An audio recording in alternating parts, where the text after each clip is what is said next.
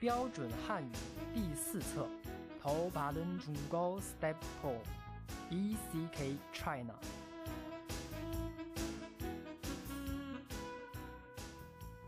大家好. 여러분 안녕하세요. 남은영입니다. 我是王林。 네, 반갑습니다, 여러분. 오늘은 제 2강 학습할 차례네요.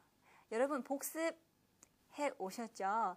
자, 포인트 문장 다섯 가지 있습니다. 확인하고 들어갈게요. 자, 원어민 선생님이 말씀을 해주실 텐데요. 여러분들은 선생님 말씀하실 때 먼저 말씀하셔도 괜찮고요. 따라서 같이 말씀하셔도 좋습니다. 다만 입을 벌려서 말씀을 해주셔야 돼요. 자, 첫 번째 문장입니다. 상대방에게 번거로움을 끼쳤다라는 느낌이 들 때 쓸 수 있는 표현이었죠. 제가 당신에게 많은 폐를 끼쳤습니다. 我给你添了不少